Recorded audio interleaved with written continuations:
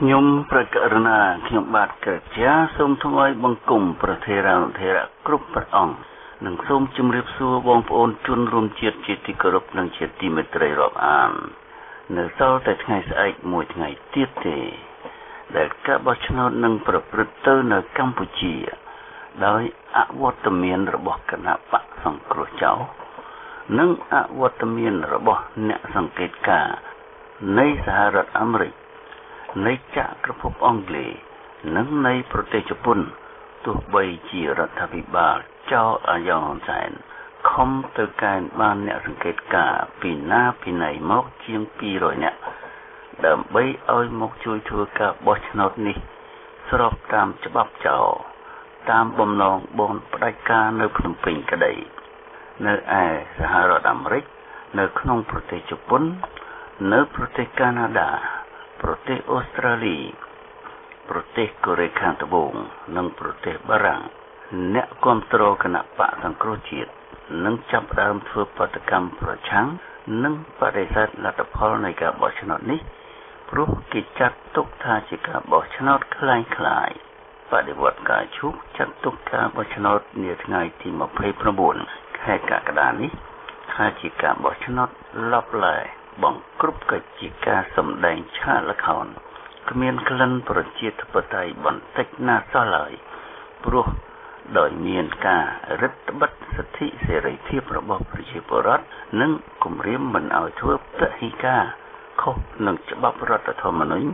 ឆ្នាំ1993គឺជាការបោះឆ្នោតរបស់បនកុម្មុយនីសម៉ាហ្វ្យាផ្ដាច់ការដើម្បីបន្តអំណាចមួយអាណត្តិទៀត ដោយយើងបានសរសេរលិខិតទៅលោកអគ្គលេខាធិការនៃអង្គការសហប្រជាជាតិលោកប្រធាននៃគណៈកម្មការអឺរ៉ុបលោកប្រធានាធិបតីនៃសហរដ្ឋអាមេរិកដូណាល់ត្រាំលោកប្រធានាធិបតីជូគូវីដូដូនៃសាធារណរដ្ឋឥណ្ឌូនេស៊ីស្នើសុំឲ្យទតចោលការបោះឆ្នោតនេះចោល ព្រោះគ្មានការចូលរួមពីប្រជាពលរដ្ឋភាគច្រើន និងចាត់វិធានការអូសទាញកម្ពុជាឲ្យត្រឡប់មករកថ្នាលប្រជាធិបតេយ្យនិងឯករាជ្យពីនឹមអាណានិគមយួនឡើងវិញផងក្នុងលិខិតនោះបដិវត្តការឈូបានបញ្ជាក់ច្បាស់អំពីការបាត់បង់នៅឯករាជ្យកម្ពុជាដោយសារការរំលោភកិច្ចព្រមព្រៀងប៉ារីសថ្ងៃទី23ដុល្លារ1991 ពីរដ្ឋាភិបាលអាយ៉ងយួនហ៊ុនសែននិងពីប្រទេសវៀតណាមតាមរយៈការផ្ដល់សុពលភាពឲ្យសិទ្ធិសញ្ញាខុសច្បាប់គ្មានសមភាពរវាងកម្ពុជានិងវៀតណាមខណៈដែលកម្ពុជា ស្ថិតនៅក្រោមការគ្រប់គ្រងរបស់យោធាវៀតណាមមានសិទ្ធិសញ្ញាឆ្នាំ1979 1982 1983 1985ជាដើម រដ្ឋអំណាចរបស់បនយ៉ាងហ៊ុនសែនល្មើសច្បាប់សារជាថ្មី ដោយចាប់លោកមេធាវីជុំជូនី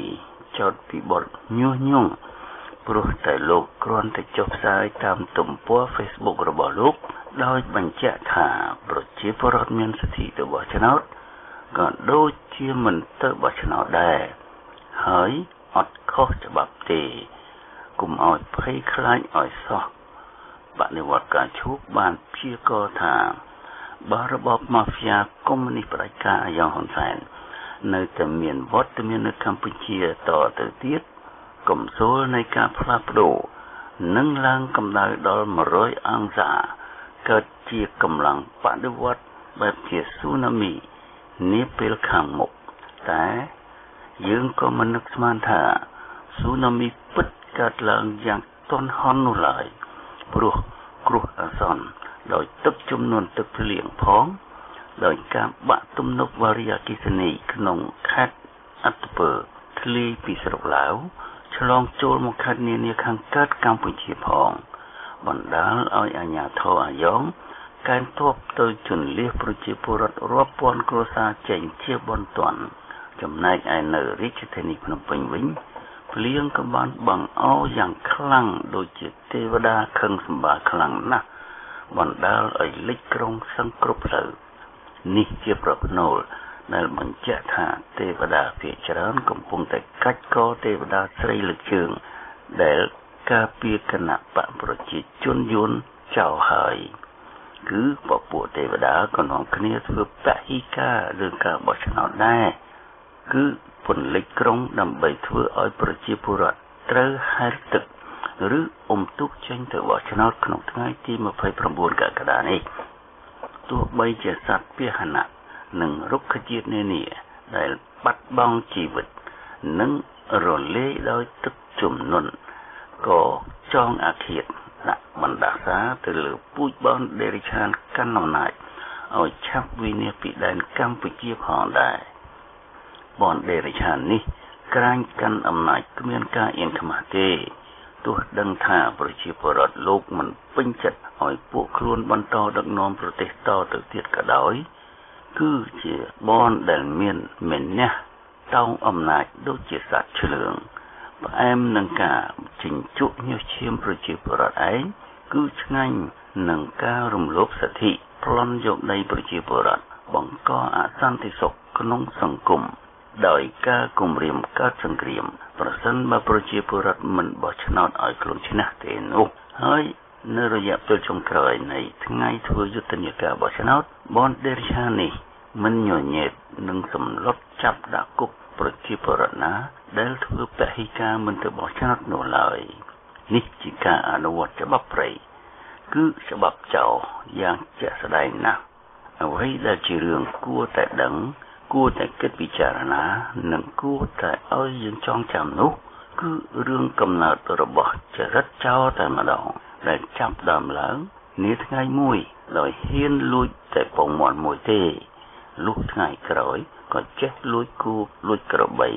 រហូតដល់ទៅលួចជាតិលួចប្រទេសទៅទៀតដូចមានសេចក្តីសរសេរអត្ថាធិប្បាយរបស់លោកសានសម្បត្តិក្នុងទំព័រ Facebook របស់លោកថា ក្រៅពីភូតកុហកកេងប្រវាញ់បោកប្រាស់ប្រជាពិធឃោសនាអកុសលលួចឆក់ប្លន់សម្លុតបំផិតបំភ័យកាប់សម្លាប់តើពពួកជនប្រភេទនេះ មានកំណើតជាចៅអាចធ្វើអ្វីល្អបានខ្លះទៅតើស្ដេចចៅមេចៅប្រពន្ធកូនចៅគ្រួសារចៅដែលដេកស៊ីសម្បត្តិចៅរួមគំនិតចូលដៃចូលជើងជាមួយនឹងចៅ ចែកហ៊ុនជាមួយចៅលទ្ធិចៅរបបគ្រប់គ្រងរបស់ចៅអាចមានសិលធម៌ចរិយាធម៌សច្ចរធម៌មេត្តាករុណាធម៌សេចក្តីថ្លៃថ្នូរក្នុងខ្លួនខ្លះដែរឬទេតើយើងនៅតែចង់ចូលទៅបោះឆ្នោតឲ្យធ្វើស្អីទៀតដែរដូចយើងឃើញស្រាប់ហើយតើថានៅស្រុកខ្មែរយើង ទោះបីជាមានបុណ្យអំណាចដូចជាស្ដេចសីហនុកើតពីពូជលួចប្រពន្ធគេលបសម្លាប់ប្តីគេក្នុងអធិនចំការត្រសក់យករាជយកម្សោយស្ដេចនេះមកប៉ះចំលើស្រីយួនកូនកាត់អ៊ីតាលី លួចបានពីសង្សារស្នេហាដំបងរបស់គេឈ្មោះខាច់រហោស៊ីទៅវាត្រូវមាត់បានកូនប្រុសពីរនាក់មួយខ្ទើយធ្វើស្ដេចទីមង របស់ចិនយួនសប្ថ្ងៃនិងមួយទៀតស្រវឹងខូបនិងគ្រឿងញៀនអាភៀនហួសកម្រិតងាប់ជាង30ឆ្នាំហើយនៅទីក្រុងប៉ារីសស្រុកបារាំងចង់លែងដែរតែលែងមិនដាច់សោះព្រោះស្ត្រីយួនកូនកាត់នោះវាចេះយកចិត្តចេះបណ្ដោយឲ្យមានស្រីញីមួយសบายใจចេះជួយរកប្រពន្ធកងសីមន្ត្រីសេនាបតីណាស្អាតស្អាតស្រស់ស្រស់ មកបំពន់ឲ្យស៊ីក្រៅជាច្រើនទៀតផងវងក្រចកសូមមិនបញ្ចេញឈ្មោះនៅទីនេះតែក្រោយមកទៀតទៅប៉ះលើស្រីបវរកញ្ញាឯកជាស្រីកំណិនរបស់សំសេរី ដែលជាឪពុករបស់សំរងស៊ីដោយយកស្រីនោះមិនបានដូចចិត្តចង់ទំនាស់រឿងស្រីនោះធំឡើងធំឡើងคล้ายទៅជារឿងក្បត់ជាតិស្រីនោះនៅរស់នៅសប្តាហ៍មានប្តីអាមេរិកាំងនៅលូសអង់គ្លេស សហរដ្ឋអាមេរិកសប្តាហ៍ក្រោយមកទៀតសីហនុហ៊ានរហូតដល់ទៅលក់ទឹកលក់ដីលន់តាខ្មែរឲ្យចិនយួនកុម្មុយនីម្ដងជាពីរដងដូរយកស្រីយួនចិននិងកូរ៉េព្រោះតែបំរើតណ្ហាការសបាយលីលាដោយសត្វធាតរបស់ខ្លួនបើកដៃឲ្យចិនយួនចូលមកសម្លាប់ព្រះខ្មែររាប់ច្រើនលានអ្នកឲ្យតែបានមកអង្គុយលើបល្ល័ង្កសង្កោចខំវិញ ទោះបីធ្វើខ្ញុំចិនឆ្កែយួនថោកទាបយ៉ាងណាក៏ដោយ មានម៉ែខុសគ្នាក៏ដោយក៏កូនកើតមកជាយុវចោលប់លប់មិនគ្រប់ទឹកចាប់កូនស្រីអ្នកកំពុងចាំ នៅចិត្តបន្ទីកុមារយោធាអាស្វាចក្រពងចោលុបអំណាចចង់បំបាច់រដ្ឋសម័យអ៊ុនតាអាដូចឪហៅអមតិផ្លោកចេះលេងភ្លេងច្រៀងរាំ ស្រឡាញ់តែប្រពន្ធគេលួចប្រពន្ធគេដូចឪវាដូចជីតាទី1តពូជរបស់វាដែរប្រពន្ធដែលលួចដណ្ដើមពីគេនោះទើបតែស្លាប់ដោយគ្រោះថ្នាក់បុកឡានបើកូនស្រីវិញបុប្ផាទេវភោមបុទុមបុប្ផា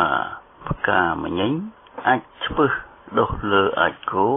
ជាសំផឹងសុទ្ធជិះសុទ្ធតែប្រុសរាប់រយនាក់ ចូលចិត្តតែលួចឆក់ប្តីគេថ្លែងពីគ្រួសារសក្តិភូមិសំវិញ សម្រងទីជាចៅរបស់សំញៀនមានដើមកំណត់ពីស្រុកកម្ពុជាក្រមជាអ្នកតំណាងរាជសម័យសីហនុកាលនៅសោយរាជជាកូនរបស់សំសារី បានទទួលមហាបរិញ្ញាបត្រភាសាបារាំងទី1មុនគេពីទីក្រុងប៉ារីធ្លាប់ជួយធ្វើការឲ្យស្ដេចសីហនុ កាលដែលឃោសនាគណៈបកសង្គមរាជនិយមក្រោយមក ចូលបម្រើការងារនៅសាលាក្រុងភ្នំពេញចុងក្រោយបងអស់មុនរត់គេចខ្លួនទៅស្រុកបារាំងក្រោយមានទំនាស់រឿងស្រីជាមួយសីហនុសំណាងល្អបានលោកនាយកការិយាល័យសាលាក្រុងភ្នំពេញលួចប្រាប់ថាសារីឯងត្រូវតែឡើងយន្តហោះជើងយប់នេះទើបរួចខ្លួនព្រោះសីហនុឲ្យញឹកជលងមកចាប់ព្រឹកស្អែកនេះហើយ សំរងស៊ីបានត្រូវសីហនុនិរទេសខ្លួនជាមួយម្ដាយឈ្មោះចំទាវអែមចេញទៅតាមស្រុកយួនត្រង់ច្រកមាត់ទ្វារបវត្តខេត្តស្វាយរៀងកាលនោះបានអាយុ6ឬ7ឆ្នាំម្លេះសំរងស៊ីមានចរិតរឹកពីគំនិតមាយាទក្រលិចក្រលិចរកទុកចិត្តមិនបានស្មានមិនត្រូវដូចឪពុកដែរខុសគ្នាតែកម្ពស់តែប៉ុណ្ណោះបានប្រពន្ធជាកូនស្រីរបស់ញឹកជូឡុង វារឹកឆ្មើងកន្ទ្រើងលើសជាងត្រកូលញឹកជូឡុង3ដងទៅទៀតចេញចូលចរចាចរចាជាមួយអខ្វៈមន់ចាក់ភ្នែកឬមេត្របែកចាក់ភ្នែក5អាណត្តិមកហើយតែ ក្នុងរង្វង់បន្ទាត់នយោបាយក្បត់ជាតិខ្មែរធ្វើឆ្កែខ្ញុំកញ្ចេះចិនយួនតាមបណ្ដាំរបស់ស្ដេចសីហនុក្បត់ជាតិដែលធ្លាប់ធ្វើ ជាចៅវាយនេះរបស់ឪវានិងឪក្មេកវាពីមុនមក ចាញ់តែបោកអាខ្វាក់មិនបានសម្រេចបំណងជាថិតថេរនោះឡើយ មកដល់សប្ថ្ងៃ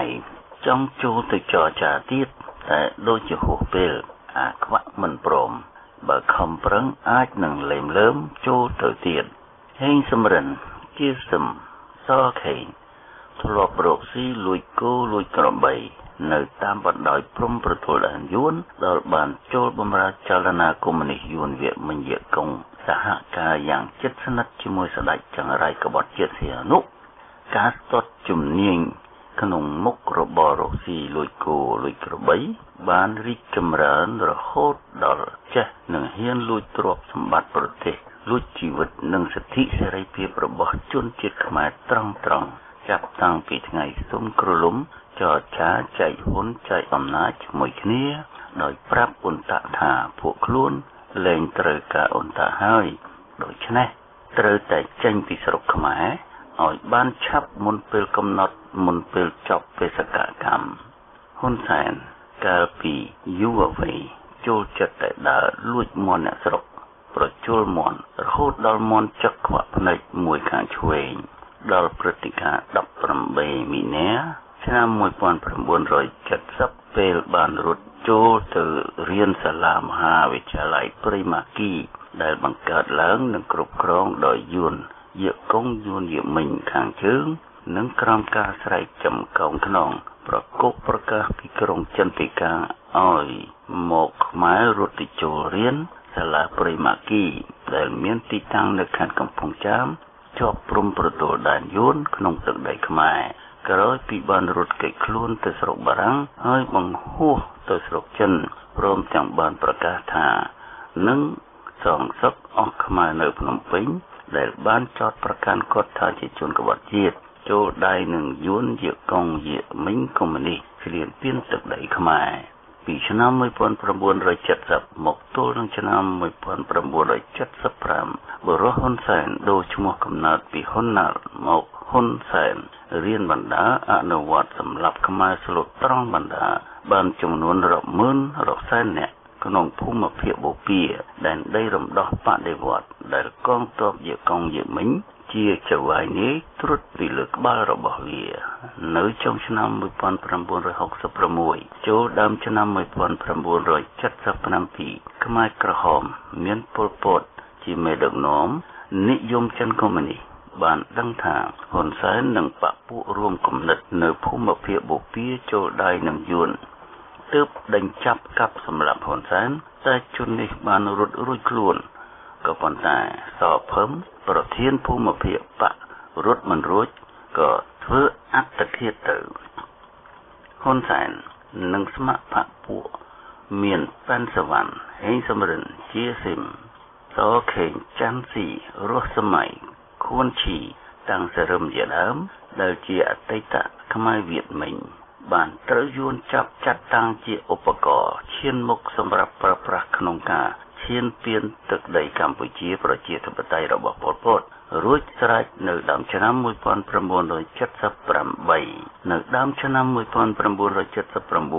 ខែមករាគឺថ្ងៃទី7កងទ័ពកុម្មុយនីសជាង2សែននាក់ដោយមានបវ៉ារី មានរុស្ស៊ីជាមេខ្លោងមកជាមួយគ្រប់ត្រផង បានចូលមកលុកលុយកម្ពុជាប្រជាធិបតេយ្យដឹកនាំដោយបរោះដុំមហិមាពលពតនិយមចិនហើយវាបំបាក់របបវាលពិឃាតព្រីបិសាចនេះ ហើយបានបន្ទុករបបអាយ៉ងមានប៉ែនសវណ្ណជានាយករដ្ឋមន្ត្រី និងហ៊ុនសែនជាកងសីនៃក្រសួងការបរទេសបានដោយបរិបូរ បានចូលស្រុកភ្លាមហ៊ុនសែនបានដៃចាប់បើកដៃឲ្យយួនអនុវត្តផែនការក5ដេញពលរដ្ឋខ្មែរឲ្យទៅកាប់ឆ្ការព្រៃដើរជន់មីនចាប់បាត់ខ្លួន ប្រមាណជា5សែននាក់ចូលដៃយួនចាប់ប៉ែនសវណ្ណទម្លាក់ពីអំណាច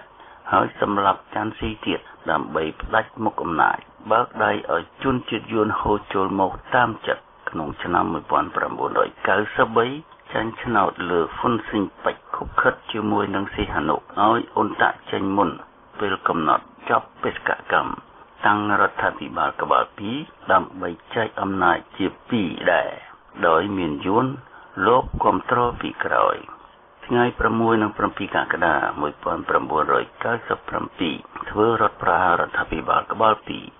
ផ្ដាច់មុខអំណាចធ្វើជាឆ្កែយួនតែម្នាក់ឯងដោយសម្លាប់មនុស្សស្មោះនិងបាក់ហ្វុនសិនពេជ្ររាជាសីហនុចិនយួននិយមមិនតិចជាងរាប់ពាន់អ្នកទេវាបានកាប់ចិញ្ច្រាំធម្មនុញ្ញថ្ងៃ23ដុល្លារ1991នៅទីក្រុងប៉ារីសដើម្បីតែបម្រើផលប្រយោជន៍បរទេសចិនយួនដោយមានបកសង្គ្រោះចោល បានចូលទៅស៊ីញេយល់ព្រមនឹងអាចោក្បត់ជាតិឆ្កែចិនយួននេះសពគ្រប់ចាប់តាំងពីប្រព័ន្ធច្បាប់50%បូក1ដើម្បីឲ្យអាចោក្បត់ជាតិវាងាយនឹងធ្វើអំពើក្បត់ជាតិលក់ជាតិតាមអំពើចិត្តរបស់វា គ្រួសារវានិងបពុវាហូហែមក5អាណត្តិហើយវាបានបំភ្លៃវាលៃ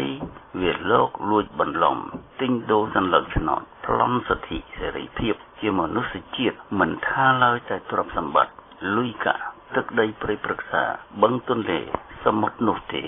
គឺវាធ្វើតែដដែលដដែលតែសកម្មភាពកាន់តែញឹកឡើងញឹកឡើងធ្ងន់ឡើងធ្ងន់ឡើង គ្រោះថ្នាក់កាន់តែចង្រៃឡើងចង្រៃឡើងលើកនេះអាណត្តិនេះ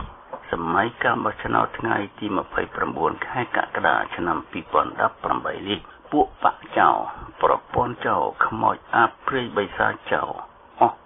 ចៅក្បត់ជាតិក្នុងនិងក្រៅស្រុកខ្មែរវាដឹងច្បាស់ណាស់ថាពួកវានឹងដល់ទីអវសាននៃរបបចៅបិសាចរបស់វាវាមិនអាចនឹងមានឱកាសបន្តរបបចៅខ្ញុំបរទេសចិនយួនតពូជកូនចៅចៅប្រុសស្រីសំផឹង ដូចយើងបានឃើញកូនចៅរបស់ស្ដេចសីហនុកូនហ៊ុនសែននឹងមានការជ្រូកកតិបណ្ដោយដែរដូចបានរៀបរាប់មកខាងលើរួចមកហើយគ្រាប់ស្លែងកើតមកពីដើមស្លែងកូនកើតមកពីឪពុកចៅកាត់ពូចៅបើស្រីគឺកើតទៅជាសម្ភឹងនៅបច្ចុប្បន្ននេះតើកូនស្ដេចណាមួយ កូនហ៊ុនសែនណាមួយ ដែលមិនមែនជាចៅមិនមែនជាសម្ភឹងនោះ ប្រពន្ធស្ដេចគ្រប់ស្ថាប័នរដ្ឋនានាឯកជនមួយចំនួន ដែលស៊ីឈ្នួនចោលក្បត់ជាតិរួមជាមួយនឹងបកនយោបាយចោលលួចចោលប្លន់ខ្មោចអាព្រៃបិសាចក្បត់ជាតិកាន់អំណាចក្រៅពីចេះភូតភរកុហកកេងប្រវ័ញ្ចបោកប្រាស់ប្រជាពិធឃោសនាអកុសលលួចឆក់ប្រន់សម្លុតបំផិតបំភ័យកាប់សម្លាប់តើពពួកជនប្រភេទនេះ មានកំណត់ជាចោលអាចធ្វើអ្វីល្អបានខ្លះទៅសួរថាតើសីហនុនឹងកូនចៅសំសេរីនឹងកូនចៅជីសឹមនឹងកូនចៅហ៊ុនសែននឹងកូនចៅសុកអាននឹងកូនចៅហុកឡងឌីនឹងកូនចៅមានអ្នកណាមួយដែលមិនមែនជាចៅស្រីសំផឹងប្រុសម្នាក់ម្នាក់100នោះតើស្ដេចចៅមេចៅប្រពន្ធកូនចៅគ្រួសារចៅដែលដេកស៊ីសម្បត្តិចៅលើខ្នងនឹងឈាមប្រជាពលរដ្ឋខ្មែរ រួមគំនិតចូលដៃចូលជើងនឹងចៅចែកហ៊ុនជាមួយចៅលទ្ធិចៅរបបគ្រប់គ្រងរបស់ចៅអាចមានសិលធម៌ចរិយាធម៌សុចរិតធម៌មេត្តាករុណាធម៌សេចក្តីថ្លៃថ្នូរក្នុងខ្លួនខ្លះដែរឬអីម្ដេចក៏យើងនៅតែចង់ចូលទៅបោះឆ្នោតឲ្យពួកវាធ្វើស្អីទៀតពួកវាធ្វើបាបយើងបានព្រោះយើងឲ្យអំណាចទៅឲ្យពួកវាឲ្យដើរទៅឲ្យពួកវាកាន់កាប់យើង ខ្មោចអាព្រៃបិសាចវាធ្វើវាកាច់យើងបាន ព្រោះយើងជឿវាសែនវាយកពេលទៅឲ្យវាស៊ីពួកវាគ្មានជួយស្អីយើងទេក្រៅពីភូតភរកុហកបោកប្រាស់នាំចង្រៃមកឲ្យយើងនឹងជាតិយើងតែប៉ុណ្ណោះសូមបងប្អូនជ្រាប ហើយកុំទៅបោះឆ្នោតឲ្យសោះទោះបីជាលោកស្រឡាញ់ចង់បោះឲ្យអ្នកណាមួយក៏ដោយឲ្យវាបោះឈ្នះតែគ្នាវាទៅ យើងមិនត្រូវការពួកវាទាំងអស់នេះទេព្រោះគ្រោះថ្នាក់ចង្រៃចង្រៃណាស់លោកអ្នកស្ដាប់អំពីជីវប្រវត្តិនិងទង្វើយ៉ាងសង្ខេបរបស់មេដឹកនាំខ្មែរតាំងពីស្ដេចនរោត្តមសីហនុស្ដេចកូននរោត្តមសីហមុនីស្ដេចស្រីមេដាជាតិយួនសំរាំងស៊ីជូឡុងសុមរាហ៊ុនសែនជាស៊ីមហេងសំរិនប៉ែនសវណ្ណដែលសុទ្ធតែជាបុគ្គលសួនតួ និយមតែក្រុមគ្រួសារឯងបពពួកឯងនិងនៅទីបំផុតសុទ្ធតែខ្លាយទៅជាជួនក្បត់ប្រជាជាតិខ្លួនទៅបំរើចិនយួនបើតាមការសង្កេតរបស់លោកអ៊ុំហាក់យើងឃើញថា29កក្កដា2018ជាថ្ងៃកំណត់ដាច់ណាត់ត្រូវតែទៅបោះឆ្នោតសកលឲ្យតតែបានទោះបីមានឧបតហេតុស្អីកើតឡើងក៏ដោយហ៊ុនសែនសម្រេចអញ្ចឹងទៅហើយ នរណាជំទាស់ក៏មិនបាន អាធំថាអាតូចធ្វើអាតូចថាអាធំធាក់មើលពីប្រឡាយទឹកស្អុយទៅឃើញមាននិន្នាការពីរបលបុកគ្នា គឺទៅបោះឆ្នោតនិងមិនទៅបោះឆ្នោតនិន្នាការទី1គឺក្រមអំពាវនាវពលរដ្ឋខ្មែរឲ្យទៅបោះឆ្នោតរួមមានព្រះករុណាម្ចាស់ផែនដី នាយករដ្ឋមន្ត្រីហែហមដោយបកប្រជាជនកំពុងកាន់អំណាចនិងគណៈបក19ផ្សេងទៀតទាំងអស់គ្នាអះអាងថាការអំពាវនាវនេះស្របច្បាប់និន្នាការទី2អំពាវនាវឲ្យពលរដ្ឋខ្មែរធ្វើពហិការគុំទៅបោះឆ្នោតដោយសមាជិកខ្មោចអតីតគណៈបកសង្គ្រោះជាតិក៏ប៉ុន្តែបកកាន់អំណាចចោទថាខុសច្បាប់អាចត្រូវផាកពិន័យ ឬដល់ថ្នាក់ជាប់គប់ផងអំពាវនាវគឺជាអំពាវនាវមិនដាច់ឡើយអំពាវនាវទៅជើងស្របច្បាប់ហើយអំពាវនាវទៅត្បូងខុសច្បាប់ទៅកើតយ៉ាងណាក៏ដោយទោះមានស្អីកើតឡើងក៏ដោយចំនួនអ្នកទៅបោះប៉ុន្មានក៏ដោយ ការបោះឆ្នោតសកល29កក្កដា2018នេះនឹងប្រព្រឹត្តទៅយ៉ាងរលូនដោយដំបងកងសន្តិសុខស្រុកខ្មែរ ហើយបកប្រជាជននឹងឈ្នះភ្លុកទឹកភ្លុកដី រលំមេឃគ្រាន់តែថាបតើហ៊ុនសែនហ៊ានប្លន់យកអាសនៈទាំងអស់ដោយកាលសម័យសង្គមរាស្ត្រនិយម ឆ្នាំ1955ឬអត់តែប៉ុណ្ណោះហ៊ុនសែននឹងបន្តតំណែងនាយករដ្ឋមន្ត្រីទៅមុខទៀតប្លែកតែត្រង់ថាការបោះឆ្នោតលើកនេះទោះចង់ក្តីមិនចង់ក្តីវាបានក្លាយទៅជាប្រជាមតិ វិនិច្ឆ័យការដឹកនាំរបស់ហ៊ុនសែននិងបកប្រជាជនឆ្កុយទៅវិញប្រជាពលរដ្ឋខ្មែរដែលបានចុះឈ្មោះបោះឆ្នោតមានខ្ទង់8លាន400ពាន់នាក់យើងត្រូវរងចាំមើលថាតើមានប៉ុន្មានអ្នកបោះឲ្យគណៈបកប្រជាជនប៉ុន្មានអ្នកបោះឲ្យគណៈបកផ្សេងប៉ុន្មានអ្នកដេកផ្ទះហើយឆ្នោតអត់បានការមានប៉ុន្មាននេះ ជាគ្រឹះក្នុងការវាស់វែងប្រជាប្រិយភាពរបស់ហ៊ុនសែន និងបកប្រជាជនកុម្មុយនីសយួនបង្កើតដោយមិនទាន់លើកយកការជ្រៀតជ្រែករបស់អាចិកមកលើប្រព័ន្ធកុំព្យូទ័រកោចបផងគេអាចប៉ាន់ស្មានអំពីអំពើរបស់បកប្រជាជនក្រោយថ្ងៃ29កក្កដា2018បាន ដោយមិនខុសឆ្ងាយ តែរឿងសំខាន់បំផុតនៃវាសនាមាតុភូមិខ្មែរ ពឹងផ្អែកធ្ងន់ទៅលើអ្វីដែលក្រុមអ្នកមិនមែនកុម្មុយនីសនឹងធ្វើបន្ទាប់ពីកោជបប្រកាសលទ្ធផលផ្លូវការនៃការបោះឆ្នោតរួចដូច្នេះការចូលរួមបោះឆ្នោតជាមួយពួកមនុស្សប្រភេទនេះ គឺចូលរួមសម្រាប់ឯករាជ្យជាតិគឺសម្រាប់ជាតិឯងព្រោះជាការចូលរួមសម្រាប់ប្រជាធិបតេយ្យនៅក្នុងប្រទេសខ្លួន គឺចូលរួមសម្រាប់សិទ្ធិសេរីភាពរបស់ខ្លួនផ្ទាល់ និងរបស់កូនចៅខ្លួន ដោយពួកបនអាយ៉ងក្បត់ជាតិមានន័យថាយើងត្រូវនាំគ្នាធ្វើពហិការគុំទៅបោះឆ្នោតដែលជាការត្រឹមត្រូវបំផុតក្នុងកាលៈទេសៈនេះ ក្នុងរបបផ្ដាច់ការនេះនេះជាដំណាក់កាលទី1ជាដំណាក់កាលដេកផ្ទះឈ្នះឯងនៃការធ្វើបដិវត្តចំណែកដំណាក់កាលទី2គឺយើងនាំគ្នាបដិសេធមិនទទួលស្គាល់លទ្ធផលនៃការបោះឆ្នោត ថ្ងៃ29កក្កដា2018ដំណាក់កាលទី3គឺយើងសូមឲ្យអង្គការសហប្រជាជាតិរួមដៃជាមួយនឹងក្រុមប្រឹក្សាជាតិអន្តរកាលនៃបដិវត្តការជោគចុះមុខកម្ពុជា ចាត់ការបង្កកសកម្មភាពក្រុមចោកាន់អំណាចឲ្យនៅត្រឹងស្ងៀមមុននឹងរៀបចំរចនាសម្ព័ន្ធរដ្ឋបាលឡើងវិញ ក្នុងរយៈអន្តរកាលពី2ទៅ3ឆ្នាំ ដំណាក់កាលទី4 គឺរៀបចំធ្វើប្រជាមតិជ្រើសរើសរបបគ្រប់គ្រងស្រុកឲ្យស្ថិតក្នុងគោលការណ៍ប្រជាធិបតេយ្យពិតសារជាថ្មី និងដំណាក់កាលទី5គឺធ្វើការបោះឆ្នោតដោយត្រឹមត្រូវ ដោយសុក្រិតដោយតម្លាភាពនិងដោយយុត្តិធម៌ជំហានទី3ឬដំណាក់កាលទី3នឹងអាចប្រព្រឹត្តទៅបានលុះណាតែទាំងអង្គការសហប្រជាជាតិទាំងសហរដ្ឋអាមេរិក ទាំងសហគមន៍អន្តរជាតិលើកយកគោលការណ៍នៃកិច្ចព្រមព្រៀងប៉ារីសថ្ងៃទី23ដុល្លារ1991យកមកធ្វើការអនុវត្តឲ្យបានដិតដល់ដើម្បីបញ្ឈរជើងរដ្ឋាភិបាលអាយ៉ងជាមុនសិនខ្ញុំបាទអ៊ូចលនៃបដិវត្តផ្កាឈូកសូមជម្រាបសួរបងប្អូនជនរួមជាតិដែលស្ដាប់វិទ្យុបដិវត្តផ្កាឈូកទាំងក្នុងស្រុកទាំងក្រៅស្រុក ទី1ដំណឹងក្រៅស្រុកប្រជាជាតិខ្មែរនៅក្រៅប្រទេស បាននាំគ្នាស្រែកអំពាវនាវឲ្យខ្មែរក្នុងស្រុកធ្វើមហាពហិការកុំទៅបោះឆ្នោតចំណែកខ្លួនគេវិញ គឺទាំងនៅសហរដ្ឋអាមេរិក ទាំងនៅជប៉ុន ទាំងនៅអឺរ៉ុបមានបារាំងជាដើម គេនឹងប្រុងប្រៀបធ្វើបាតកម្មនៅថ្ងៃ28កក្កដា2018ដើម្បីបំផុសបំផុលគំនិតប្រឆាំងការរៀបចំបោះឆ្នោតនៅកម្ពុជា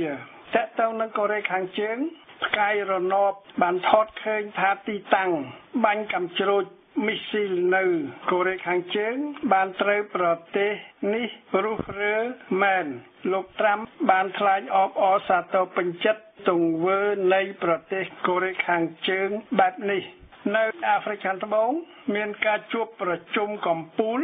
នៃប្រទេស BRICS សូមបញ្ជាក់ថា BRICS គឺជាសមាគមប្រទេស ដែលបង្កើតក្នុងឆ្នាំ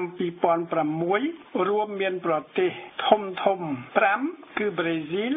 រុស្ស៊ីឥណ្ឌាចិននិងអាហ្វ្រិកខាងត្បូងសូមបញ្ជាក់ថាប្រជាជននៅក្នុងក្រុមប្រិចនេះ មានប្រមាណជាង3កោតហើយចរាចរទំនិញមានតម្លៃសរុប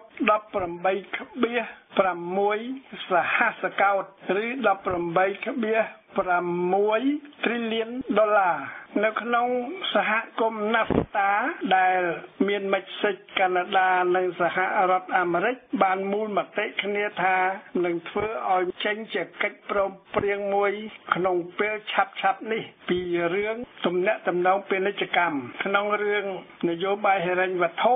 រូបិយប័ណ្ណលោកត្រាំបានថ្លែងថាចិននិងអឺរ៉ុប បានបន្លំបន្លំអត្រាដូររូបិយវត្ថុជាមួយដុល្លារក៏ប៉ុន្តែអង្គការអន្តរជាតិរូបិយវត្ថុថ្លែងថាគេពុំរកឃើញផុសតាំងណាមួយ បញ្ជាក់ថាចិន បានបន្លំបន្លំអត្រាដូររូបិយវត្ថុជាមួយដុល្លារនេះទេ ការបន្លំបន្លំអត្រាដូររូបិយវត្ថុនេះ គឺបន្លំបន្លំជាមួយរូបិយវត្ថុ អឺរ៉ូដុល្លារនិងយួនអ៊ីស្រាអែលបានបាច់កប៉ាល់ហោះ សេរីដែលគេចោទថា បានហោះហើររំលោភដែនដីអ៊ីស្រាអែលប្រហែល2គីឡូម៉ែត្រតែប្រទេសសេរីប្រកាសថាអ៊ីស្រាអែលបានបាញ់យន្តហោះសេរីនៅក្នុងទឹកដីសេរីសូមបញ្ជាក់ផងដែរថាបាតកម្មនៃប្រជាជាតិខ្មែរនៅបរទេសដូចជានៅសហរដ្ឋអាមេរិកគឺធ្វើនៅទីក្រុងសាក្រាម៉ាន់តូ នៃរដ្ឋកាលីហ្វ័រញ៉ាថ្ងៃ28កក្កដា2018នៅបារាំងគឺធ្វើនៅទីលានប្រជាធិបតេយ្យត្រូកាត់ដេរ៉ូនៅថ្ងៃនេះដែរពេលរសៀលលាក់លោកស្រីតេរេសាមេរដ្ឋមន្ត្រីទី1អង់គ្លេសបានថ្លែងថាលោកស្រីនឹងកាន់កាប់ កិច្ចការចរចាជាមួយអឺរ៉ុបក្នុងរឿង Brexit ដោយផ្ទាល់ដៃក្រោយពី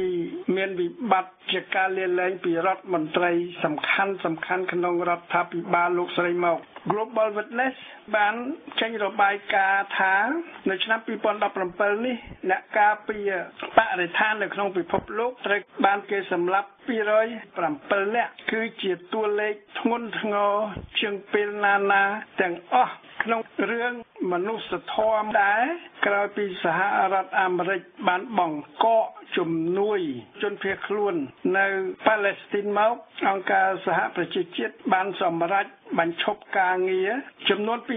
250នាក់នៃអង្គការរបស់ខ្លួននៅប៉ាឡេស្ទីនការពារជនភៀសខ្លួនឬ UNRWA បណ្ដាលឲ្យអ្នកធ្វើការបម្រើជនជាតិប៉ាឡេស្ទីនភៀសខ្លួននេះធ្វើបាតកម្មទាមទារសិទ្ធិសេរីភាព ក្នុងរឿងកម្ពុជា ប្រទេសជប៉ុន និងសហរដ្ឋអាមេរិកសម្រាប់ពុំបញ្ជូនអ្នកសង្កេតការតាមដានការបោះឆ្នោតនៅកម្ពុជាទេក្នុងរឿងកម្ពុជានេះដែរនៅអូស្ត្រាលីលោកព្រឹទ្ធសភា Richardine Natalie បានសុំឲ្យរដ្ឋាភិបាលអូស្ត្រាលីប្រ កាសកុំទទួលស្គាល់ការបោះឆ្នោតនៅកម្ពុជាឲ្យបានមុនថ្ងៃបោះឆ្នោតស្ដីពីរឿងបំរែបំរួលអាកាសធាតុនៅប្រទេសជប៉ុន មានមនុស្សស្លាប់ជាង80នាក់មកហើយដោយសារកម្ដៅខ្លាំងនៅប្រទេសក្រិចក៏មានមនុស្សស្លាប់ជាង80នាក់បាត់ខ្លួនរាប់សិបនាក់ និងខូចខាតផ្ទះសម្បែងរថយន្តលាក់យ៉ាងច្រើនឥតគណនាព្រោះអគិភ័យកើតមានឡើងនៅទីក្រុងម៉ាទីជិតទីក្រុងអាតែន ប្រទេសក្រិចបានប្រកាសកាន់មរណទុក្ខចំនួន3ថ្ងៃ សហរដ្ឋអាមេរិកបានប្រកាសកោលទោសរដ្ឋាភិបាលនៃប្រទេសនីការ៉ាហ្គាគឺលោកអុកតេហ្កាដែលបង្ក្រាបអ្នកធ្វើបាតកម្មឲ្យមានមនុស្សស្លាប់សូមបញ្ជាក់ថាបាតកម្មនេះគឺទៀមទានសូមឲ្យលោកប្រធានាធិបតីអុកតេហ្កាចុះចេញពីតំណែងលោកប្រធានាធិបតីប្រកាសថានឹងពុំចុះចេញពីតំណែងទេ រឿងរ៉ាវជាមួយអ៊ីរ៉ង់និងសហរដ្ឋអាមេរិកអ៊ីរ៉ង់បានប្រកាសថាបើសហរដ្ឋអាមេរិកបិទច្រកមិនអោយអ៊ីរ៉ង់នាំប្រេងកាតចេញទៅបរទេសនោះអ៊ីរ៉ង់នឹងចាត់វិធានការតទល់វិញនៅប្រទេសអង់គ្លេសលោក Elton John ដែលគេដឹងថាលោកជាអ្នកស្រឡាញ់ភេទដូចគ្នាគឺ gay បានរិះគន់រុស្ស៊ីនិងប្រទេសអឺរ៉ុបខាងកើតយ៉ាងខ្លាំងក្លាព្រោះតែនៅរុស្ស៊ីនិងអឺរ៉ុបខាងកើតមានការអនុវត្តនយោបាយនិងវិធានការប្រឆាំងអ្នកស្រឡាញ់ភេទដូចគ្នា នៅវេណេស៊ុយឡាក្នុងផ្នែកសេដ្ឋកិច្ចប្រទេសនេះកំពុងស្គាល់អតិផរណាលើសពី1លានភាគរយនេះបើតាមតួលេខរបស់អង្គការអន្តរជាតិរូបិយវត្ថុ IMF ប្រទេសវេណេស៊ុយឡាប្រុងប្រៀបលុបតម្លៃរូបិយវត្ថុរបស់ខ្លួន5ខ្ទង់គឺលុបចោល05ដង ប្រទេសសាធារណរដ្ឋប្រជាធិបតេយ្យកុងហ្គោក្រោយពីតាមដានមើលថាជាង42ថ្ងៃមកហើយ ពុំមានកើតមានជំងឺអេបូឡាណាមួយទៀតឡើយដូច្នេះប្រទេសនេះបានប្រកាសថាជំងឺអេបូឡាត្រូវបានបង្ក្រាបហើយសម្រាប់ប្រទេសលីប៊ីដែលនឹងធ្វើការបោះឆ្នោតនៅខែធ្នូខាងមុខនេះប្រទេសបារាំងសន្យាថានឹងផ្ដល់ជំនួយជាហិរញ្ញវត្ថុ88ម៉ឺនអឺរ៉ូ នៅប្រទេសប៉ាគីស្ថានគេបានរៀបចំការបោះឆ្នោតកាលពីថ្ងៃ25កក្កដា2018អ្នកចុះឈ្មោះបោះឆ្នោតមានច្រើនជាង106លាននាក់គេរំពឹងថាលោកអឹមរ៉ាន់ខាន់និងប្អូនប្រុសលោកប្រធាននាយកបដីដែលជាប់ពន្ធនាគារនឹងទទួលលទ្ធផលនាំមុខគេសូមបញ្ជាក់ថាលោកអឹមរ៉ាន់ខាន់ជាកីឡាករជើងឯកនៅក្នុងកីឡាគ្រីកេត នៅប្រទេសប៉ាគីស្ថាននេះគឺជាការបោះឆ្នោតរើសរដ្ឋាភិបាលស៊ីវិលបន្តបន្ទាប់គ្នា ជាលើកទី3ហើយនៅក្នុងប្រទេសនេះគេក៏សម្គាល់ឃើញថាមានការរយ៉ាឡៃបោះឆ្នោត85000ហើយប៉ូលីសការពារសន្តិសុខមានប្រហែល440,000បកណាដែលបានទទួលកៅអីចំនួន172ឡើងទៅអាចទទួលភារៈរើសរដ្ឋាភិបាល នៅស្រុកលាវទំនប់ទឹកវារីអគិសនីដែលគេកំពុងសាងសង់បានរលាយហើយធ្លាក់ធ្វើឲ្យបាត់បង់ប្រជាពលរដ្ឋរាប់រយនាក់និងផ្ទះសម្បែងរាប់ពាន់នៅក្នុងជំនួបពាណិជ្ជកម្មរវាងលោកចង្កែនិងលោកត្រាំ ដែលគេពុំសង្ឃឹមថានឹងបានទទួលលទ្ធផលជាវិជ្ជមានពងខ្ពស់នោះទេ តែទាំងសងខាងបានថ្លែងថាមានការដើរទៅមុខគួរឲ្យកត់សម្គាល់ដូច្នេះក្នុងពេលចរចានេះនឹងពុំមានការដាក់ទណ្ឌកម្ម ជាពន្ធលើការនាំចូលរថយន្តពីអឺរ៉ុបទៅសហរដ្ឋអាមេរិកទេសូមបញ្ជាក់ថាក្រោយពីសហរដ្ឋអាមេរិកបាន បង្កើនពន្ធលើការនាំចូលដែកថែបនិងអាលូមីញ៉ូមមកអឺរ៉ុបបានបង្កើនពន្ធលើម៉ូតូ Harley Davidson ក្នុងរឿងរុស្ស៊ីអឺរ៉ុបនិងសហរដ្ឋអាមេរិក លោក Mike Pompeo រដ្ឋមន្ត្រីក្រសួងការបរទេសសហរដ្ឋអាមេរិកបានថ្លែងថាសហរដ្ឋអាមេរិកពុំទទួលស្គាល់អធិបតេយ្យភាពរុស្ស៊ីទៅលើដែនដីគ្រីមេ ដែលរុស្ស៊ីបានកាត់ពីអ៊ុយក្រែននោះឡើយ គឺដូចជាអឺរ៉ុបនិងអង្គការឧត្តង់ដែរនេះគឺលោកបានថ្លែងនៅមុខគណៈកម្មាធិការព្រឹទ្ធសភាសហរដ្ឋអាមេរិកនេះហើយដែលធ្វើឲ្យបដិវត្តផ្កាឈូក ជំរាបបងប្អូនជនរួមជាតិថាកោះត្រល់ឬកម្ពុជាក្រោម គឺជាសម្បត្តិនៃកម្ពុជាក៏ប៉ុន្តែមកដល់ពេលនេះប្រជាជាតិខ្មែរពុំទាន់បានចាត់វិធានការផ្នែកអន្តរជាតិជាពិសេស ក្រោមច្បាប់នៃអង្គការសហប្រជាជាតិដូចជា ICJ ឬតុលាការយុត្តិធម៌អន្តរជាតិដើម្បីឲ្យអន្តរជាតិសម្រាប់ពីអធិបតេយ្យភាពខ្មែរទៅលើដែនដីកម្ពុជាក្រោមនិងកោះត្រល់នៅឡើយទេ នេះគឺជាករណីយកិច្ចនៃប្រជាជាតិខ្មែរទាំងមូលដែលត្រូវតែយកច្បាប់អន្តរជាតិធ្វើជាគោលហើយដែលជាដំបូងប្រជាជាតិខ្មែរត្រូវតែរួបរวมគ្នា ប្រឹងប្រែងយល់ដឹងឲ្យបានជ្រៅជ្រះកុំចាញ់បោកថ្នាក់ដឹកនាំអាលីហៅត្រពងស៊ីប៉ែកញ្ចាស់បរទេសក្បត់ជាតិដោយក្រុមហ៊ុនសែនក្រុមរាជានិយមបច្ចុប្បន្ននេះតាមពិតនៅអាស៊ីប្រទេសហ្វីលីពីនប៊្រីណេតៃវ៉ាន់ឡាគេពំបានទទួលស្គាល់អធិបតេយ្យភាពនៃចិនប៉េកាំងទៅលើប្រជុំកោះប៉ារ៉ាសែលនៅសមុទ្រចិនខាងត្បូងនោះទេ តែហេតុអ្វីបានជា ប្រទេសកម្ពុជាធធ្វើជាខ្ញុំកញ្ចេះចិនពេលកាំងទទួលស្គាល់ថាចិនមានអធិបតេយ្យភាពនៅលើដែនដីប្រជុំកោះប៉ារ៉ាសែឡានៅក្នុងសមុទ្រចិនខាងត្បូងទៅវិញនៅសហរដ្ឋអាមេរិកសភាកុងក្រេបានធ្វើច្បាប់ HR 5457នៅថ្ងៃ25កក្កដា2018 ដាក់ទណ្ឌកម្មលើបុគ្គលហ៊ុនសែននិងមនុស្ស16អ្នកទៀតដូចជាសខេងទាបាញ់អូនពាន់មនីរតកើតរទ្ធីសុនចន្ទថលប្រាក់សុខុនអោមយិនទៀងប៉ុលសារឿននេតសាវឿនគុណគីមសៅសុខាហ៊ីងប៊ុនហៀងជួនសវណ្ណហ៊ុនម៉ាណែតសុកពុទ្ធិវុឌ្ឍ និងកូនស្រីហ៊ុនសែនឈ្មោះហ៊ុនម៉ាណា នៅក្នុងប្រទេសកម្ពុជា នៅថ្ងៃអាទិត្យទី29កក្កដានឹងមានការរៀបចំបោះឆ្នោតបាយលុកបាយឡឬសភាចោគឺជាការមើលងាយឆន្ទៈប្រជាជាតិខ្មែរគឺជាការមើលងាយមតិអន្តរជាតិគឺជាការប្រមាន ពីសន្តិភាពសន្តិសុខកម្ពុជា និងជីវភាពប្រជាជាតិខ្មែរដើម្បីអាខ្វាក់វាអាចបង្ហាញថាប្រជាជាតិខ្មែរបានចូលរួមបោះឆ្នោតឲ្យវា ព្រោះវាអួតអាងថាមានគណៈបក19ផ្សេងទៀតចូលរួមក្នុងការឈរឈ្មោះបោះឆ្នោតឲ្យប្រជាជាតិខ្មែរជ្រើសរើសនៅបាងកកក្នុងប្រទេសថៃអន្តរជាតិជាអង្គការក្រៅរដ្ឋាភិបាលមានអង្គការ APHR Human Rights Watch Amnesty International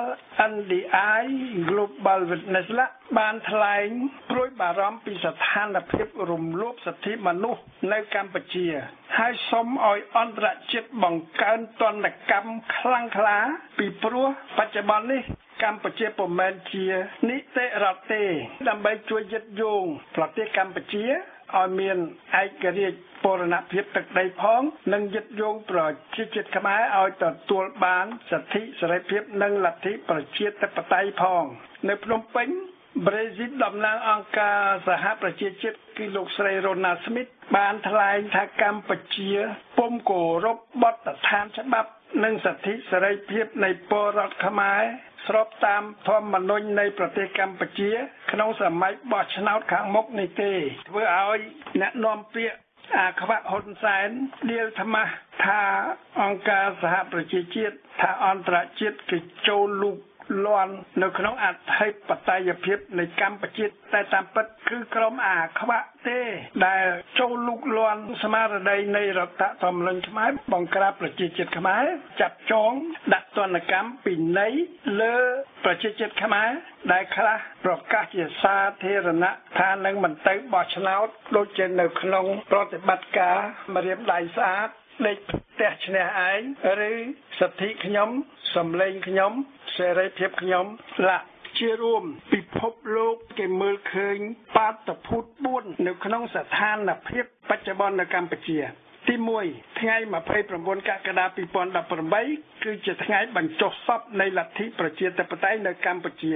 ទី2កម្ពុជាកំពុងរស់ក្រោមអាណានិគមយួនទី3កម្ពុជាកំពុងរស់ក្រោមសម្ពាធសេដ្ឋកិច្ចចិនទី4កម្ពុជា កំពុងរស់ក្រោមអំណាចផ្ដាច់ការនៃរបបអាខ្វាក់ហ៊ុនសែនតែអ្នកណាឬប្រទេសណាដែលធ្វើឲ្យកម្ពុជានិងប្រជាជាតិខ្មែរទទួលរងគ្រោះជាបាតុភូតខាងលើនេះក៏ប្រទេសយួនហាណូយខ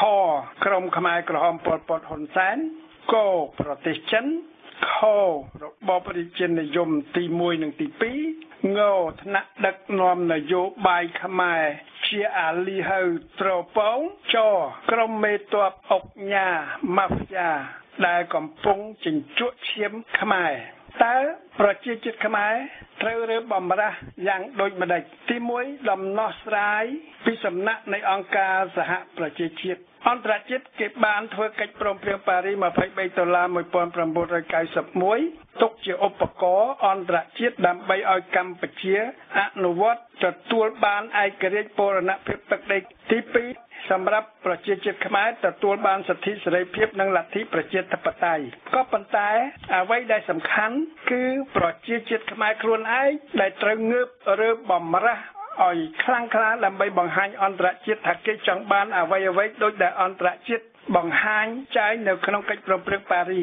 ហេតុនេះហើយទើបបដិវត្តការឈូកបង្កើតក្រុមប្រឹក្សាជាតិអន្តរកាលដើម្បីចូលរួមដោះស្រាយបំផុសបំផុលប្រជាជាតិខ្មែរឲ្យធ្វើសហការជាមួយអន្តរជាតិតែដោយងើបខ្លួនឯងជាមុនសិន ក្នុងបាតុភូតទី1ថ្ងៃ29កក្កដា2018នេះជាថ្ងៃបញ្ចុះសពនៃលទ្ធិប្រជាធិបតេយ្យនៅកម្ពុជាព្រោះអាខ្វាក់វារំលាយបកសង្គ្រោះចោលវាចាប់ប្រធានកែមសខាដាក់គុកចិត្តមួយឆ្នាំហើយពុំទាន់ជំនុំជម្រះព្រោះវាពុំមានភ័ស្តុតាងជាក់ស្ដែងតែវាប្រើតុលាការកម្ពុជាដិតមន្ទីរដែលជាសមាជិកបកប្រជាជនយួន ឲ្យចេញបញ្ជាហាមឃាត់ថ្នាក់ដឹកនាំគណៈបកសង្គ្រោះចោល118រូបមិនឲ្យធ្វើនយោបាយ5ឆ្នាំ វាក៏យកកៅអីទាំង55របស់គណៈបកសង្គ្រោះចោលប្រគល់ឲ្យបកហ្វុនសុនពេជ្រ41អាសនៈក្នុងរដ្ឋសភា និងទុក14អាសនៈសម្រាប់បកប្រជាជនយួនវាច្បាមយកកៅអីក្រុមប្រឹក្សា ឃុំសង្កាត់ខេត្តខណ្ឌរាជធានីលាក់5007កៅអីធ្វើជា អាសនៈរបស់វា ដើម្បីជាមូលដ្ឋានបោះឆ្នោតរើសប្រែតសភាសភាចៅនឹងប្រែតសភាក្រោយពីបានបង្កើតមកកាលពីឆ្នាំ2017នេះក៏បានដំណើរការធ្វើច្បាប់គណៈរដ្ឋមន្ត្រីថ្មីសម្រាប់ផ្ដល់អំណាចធំធេងឲ្យអាខ្វាក់ហ៊ុនសែនក្នុងអាណត្តិទី6ខាងមុខនេះនេះហើយជារបបផ្ដាច់ការ មិនគោរពស្មារតីនៃរដ្ឋធម្មនុញ្ញខ្មែរ និងស្មារតីនៃធម្មនុញ្ញអង្គការសហប្រជាជាតិទើបបានអង្គការសហប្រជាជាតិជាពិសេសប្រទេសសេរីនានាមានសហរដ្ឋអាមេរិកអឺរ៉ុបអូស្ត្រាលីកាណាដាជប៉ុនគេផ្ដន់ទាគេមិនបញ្ជូនអ្នកសង្កេតការមកមើលការរៀបចំបោះឆ្នោតនៅកម្ពុជាឬសភាចៅ នៅថ្ងៃ29កក្កដា2018នេះទេនៅអាណត្តិទី6នេះកម្ពុជានឹងក្លាយជាវាលរហោឋានគ្មានច្បាប់គ្មានទម្លាប់ឬក៏ជាព្រៃសម្រាប់សត្វសាហាវនានាដូចជាខ្លាតោចចកកញ្ជ្រោងវាអាចខំស៊ីសម្រាប់សត្វតូចតាចដូចជាសត្វពាហនៈជាដើមព្រោះកម្ពុជាពុំមែនជារដ្ឋឯករាជ្យ ឬក៏ជារដ្ឋដែលមានពរណភាពទឹកដីមុនឆ្នាំ1969ព្រោះកម្ពុជាពុំមានស្ថាប័នឯករាជ្យមួយទេ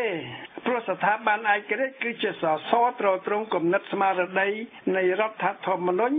និងត្រត្រង់សិទ្ធិសេរីភាពនិងលទ្ធិប្រជាធិបតេយ្យតែអាខ្វាក់ដែលជាជនផ្ដាច់ការវាបញ្ជា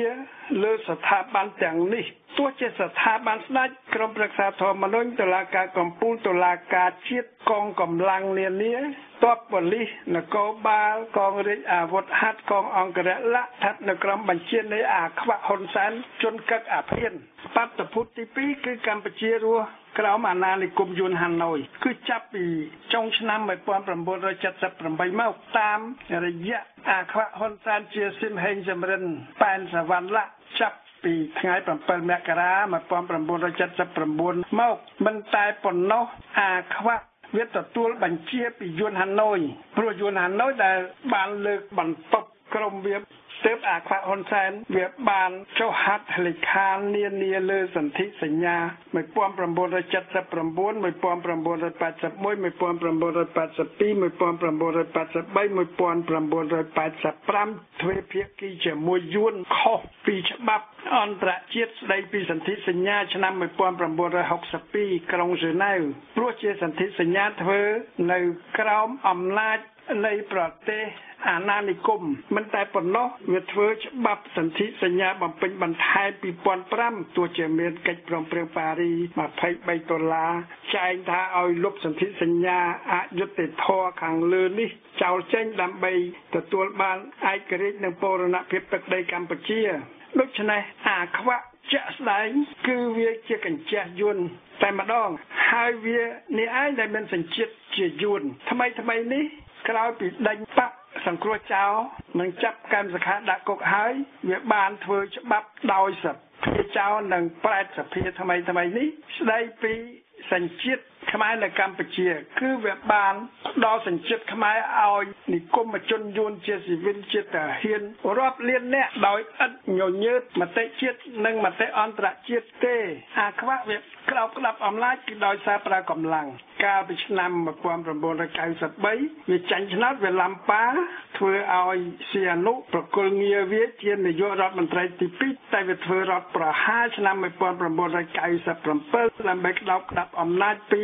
រណរដ្ឋ ទាំងអស់ហើយបន្ទាប់មកវារៀបចំការបោះឆ្នោតតាមរយៈកោជបអឹមសួស្ដីទេពនិថាឆ្នាំ1998 2003 2008 2013ហើយនៅឆ្នាំ2018នេះ គឺជាកោជបបំរើវាបំរើយួនទៀតដែលមានសិទ្ធិបន្ហុកនិងទេពនិថាទៀតនៅក្នុងការគ្រប់គ្រងលើកោចបគោលបំណងវាគឺដើម្បីក្តោបក្តាប់ស្ថាប័នទាំងអស់នៅកម្ពុជា ដើម្បីបំរើយួនបំរើនយោបាយសេដ្ឋកិច្ចចិន នៅក្នុងតំបន់បំរើគ្រួសារវាបំរើបពពួកម៉ាហ្វ្យាដែលសុំក្រលុំបំផ្លាញធនធានធម្មជាតិខ្មែរមានរ៉ែ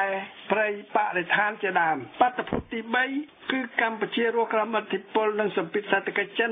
ដោយវាពុំសប្បាយចិត្តនឹងនយោបាយនៃប្រទេសសេរីដែលគេផ្ដល់ជំនួយឬកម្ចីដោយមានលក្ខខណ្ឌដើម្បីឲ្យអាខ្វាក់វាគោរពសិទ្ធិសេរីភាពនៃប្រជាជាតិរបស់វាដូច្នេះវាក៏คล้ายខ្លួនជាខ្ញុំកញ្ចាស់ចិនផ្កាប់មុខគឺវាលក់ក្បាលឲ្យចិនដូចប៉ុលពត ដូចសេហនុបច្ចុប្បន្នវាគឺជាឧបករណ៍នៃនយោបាយយុទ្ធសាស្ត្រចិននៅ ក្នុងវិស័យសេដ្ឋកិច្ចមហាអំណាចចិនវិស័យយុទ្ធសាស្ត្រទាំងវិស័យនយោបាយព្រោះប្រទេសចិនដើម្បីបានទទួលផលប្រយោជន៍គ្រប់បែបយ៉ាង គឺវាបិទភ្នែកវាសុកចិត្តចិញ្ចឹមសៀនុចិញ្ចឹមប៉ុលពតចិញ្ចឹមហ៊ុនសែនដោយបំបើកភ្នែកមើលពីសិទ្ធិសេរីភាពសុខុមាលភាពនៃប្រជាជាតិខ្មែរដែលចំនួនប៉ុលពតសីហនុហ៊ុនសែនមកដល់បច្ចុប្បន្នស្លាប់4ទៅ5លានអ្នករួចមកហើយដូច្នេះចិននិងយួនវាប្រុងប្រៀបទទួលស្គាល់លទ្ធផលបោះឆ្នោតបន្លំខាងមុខនេះហើយវាបានជួយជាជំនួយហិរញ្ញវត្ថុតាមផ្លូវងងឹតដើម្បីអាខ្វាក់ហ៊ុនសែនជន់ផ្ដាច់ការធ្វើអ្វីអ្វីបានសម្រេចនៅកម្ពុជា គឺប្រឆាំងឆន្ទៈនៃប្រជាជាតិខ្មែរមិនគោរពសិទ្ធិសេរីភាព ដែលអន្តរជាតិទាំងមូលក្រមឆាត់នៃអង្គការសហប្រជាជាតិគេនាំគ្នាការពារដូច្នេះគឺចិននិងយួនដែលជាអ្នកបំផ្លាញប្រយោជន៍កម្ពុជានិងប្រយោជន៍នៃប្រជាជាតិខ្មែរបាតុភូតទី4គឺកម្ពុជានិងប្រជាជាតិខ្មែរកំពុងរស់ក្រោមអំណាចផ្ដាច់ការនៃអាខ្វាក់ហ៊ុនសែនព្រោះអាខ្វាក់ហ៊ុនសែនវាមិនគោរពច្បាប់ស្របតាមស្មារតីនៃរដ្ឋធម្មនុញ្ញខ្មែរទេអាខ្វាក់វាបានធ្វើច្បាប់ថ្មីថ្មីជាច្រើនឥតគុណនាដើម្បីបំរើប្រយោជន៍វា ប្រឆាំងនឹងប្រយោជន៍កម្ពុជាបំរើនយោបាយយួនបំរើនយោបាយចិនដូច្នេះវានឹងពុំអនុញ្ញាតឲ្យមានបទភូតថ្មីមួយផ្លាស់ប្ដូរអំណាចនៅកម្ពុជាតាមឆន្ទៈប្រជាជាតិខ្មែរដូចជាការបោះឆ្នោតដោយសេរី គ្រប់គ្រងដោយកោជបឯករាជ្យគ្រប់គ្រងដោយអន្តរជាតិមានអង្គការសហប្រជាជាតិនិងប្រទេសសេរីជាដើមដូច្នេះអន្តរជាតិ ជាអង្គការក្រៅរដ្ឋាភិបាលនៃប្រទេសសេរីឬក៏អង្គការអន្តរជាតិផ្លូវការដូចជាស្ថាប័នក្រោមឆ័ត្រអង្គការសហប្រជាជាតិគេពុំទទួលស្គាល់អំពើពុករលួយប្រៃផ្សាយផ្ដាច់ការនៃក្រុមអាខ្វាក់ហ៊ុនសែននៅក្នុងការរៀបចំបោះឆ្នោតថ្ងៃ29កក្កដា2018នេះទេជាពិសេសអង្គការអន្តរជាតិក្រៅរដ្ឋាភិបាលដូចជា Global Witness Human Rights Watch Amnesty International Freedom House APHR ដូចជាតាមរយៈសេចក្តីថ្លែងការណ៍របស់លោក Jacques Santiago អំពាវនាវឲ្យអន្តរជាតិបង្កើនការគៀបសង្កត់ឲ្យបានខ្លាំងក្លាពុំនោះសោតទេនៅអាស៊ាននឹងមានប្រទេសណាមួយទៀតនឹងធ្វើដំរាប់តាមអាខ្វាក់ហ៊ុនសែនធ្វើឲ្យខូចប្រយោជន៍នៃប្រជាជាតិនៅក្នុងអាស៊ានទាំងមូលប្រធាន NDI នៅកម្ពុជា ដែលភៀសខ្លួនមកនៅប្រទេសថៃក៏បានសូមអំពាវនាវឲ្យអន្តរជាតិកែប្រែអ្វីអ្វីជាជំរឿននៅកម្ពុជាព្រោះបើគ្រាន់តែ ធ្វើឲ្យកម្ពុជារៀបចំការបោះឆ្នោតជាថ្មី ក្នុងក្របខ័ណ្ឌនៃរបបអាខ្វាក់ហ៊ុនសែនហើយដែលស្ថាប័ននានាស្ថិតនៅក្រោមការបង្គាប់បញ្ជាគ្រប់គ្រងនៃអាខ្វាក់ និងយួននិងចិននោះប្រជាជាតិខ្មែរនឹងពុំទទួលបានសិទ្ធិសេរីភាពជាក់ស្ដែងបានឡើយតែក្រមអាលីហៅបានឆ្លើយតបទៅនឹងអង្គការទាំងនេះថាពួកគេចូលលុកលាន់អធិបតេយ្យភាពនៃកម្ពុជា គឺពួកវាទេដែលជន់ឈ្លីសិទ្ធិសេរីភាពនៃប្រជាជាតិខ្មែរ ហើយធ្វើឲ្យចិនយួនបំផ្លាញធម្មជាតិជាព្រៃជារ៉ែចាប់តាំងពីឆ្នាំ1993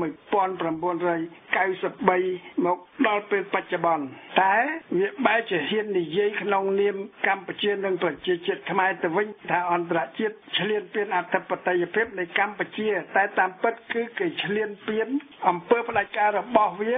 ដែលវាហ៊ានជិះជាន់បង្ក្រាបប្រជាជាតិខ្មែរដូច្នេះ សំណួរថាតើជនណាប្រទេសណាដែលធ្វើឲ្យកម្ពុជានិងប្រជាជាតិខ្មែរមិនបានសម្រេចអ្វីអ្វីដែលមានចែងនៅក្នុងកិច្ចព្រមព្រៀងប៉ារី23ដុល្លារ1991គឺប្រទេសយួនដែលមានមហិច្ឆតាបញ្ចូលកម្ពុជា ក្នុងសហព័ន្ធឥណ្ឌូចិន គឺបញ្ចូលនិគមជនយួនស៊ីវិលទាហានឲ្យមករស់នៅ កម្ពុជា ថ្មីថ្មីនេះអាខ្វាក់ហ៊ុនសែនបានកែប្រែធ្វើច្បាប់សញ្ជាតិខ្មែរដែលអនុញ្ញាតឲ្យនិគមជនយួនគ្រប់ទិសទី មានសិទ្ធិចេញពីទន្លេសាប មានដីធ្លី មានផ្ទះសម្បែងហើយមានសញ្ជាតិជាខ្មែរអាចបោះឆ្នោតសុំក្រឡុំជាមួយ របបអាខ្វាក់ហ៊ុនសែនដើម្បីសម្រេចវាសនានៃកម្ពុជានិងប្រជាជាតិខ្មែរទាំងមូលព្រោះយួនហាណូយវាបានរក្សាកងទ័ពវាជិត2សែននាក់ឲ្យនៅបន្តរស់ក្នុងកម្ពុជាទោះជាវាប្រកាសប្រាប់អន្តរជាតិថាវាចេញពីកម្ពុជា កាលពីឆ្នាំ1989ក៏ដោយអាខ្វាក់ហ៊ុនសែនថាអ្នកដែលនៅពីលើក្បាលវា គឺយួនថាវាគឺជាអាយ៉ងយួនហើយអាខ្វាក់ហ៊ុនសែនវាពំបានលុបចោលសន្ធិសញ្ញា1979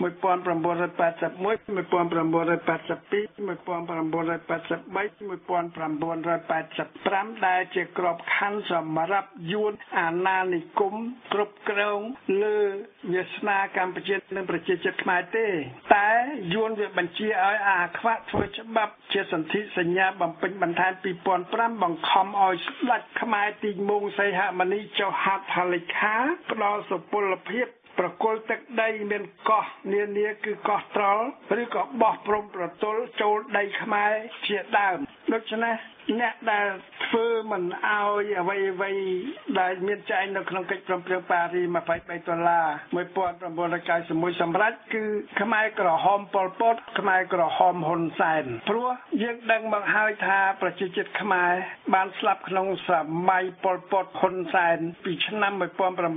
1975មកដល់ពេលបច្ចុប្បន្នឆ្លងតាមព្រឹត្តិការណ៍ក5ជាដើមហើយបន្ទាប់មកគឺប្រទេសចិនដែលនៅក្នុងគ្រប់សម័យកាលក្នុងរាជានិយមសីហនុក្នុងរបបខ្មែរក្រហមប៉ុលពត និងក្នុងរបបអាខ្វាក់ហ៊ុនសែនប៉ុលពតទី2ក៏ចិននៅតែមានអធិពលកេងប្រវ័ញ្ចប្រយោជន៍ ធនធានធម្មជាតិសម្បត្តិកម្ពុជានានាដើម្បីបម្រើប្រយោជន៍សេដ្ឋកិច្ចវា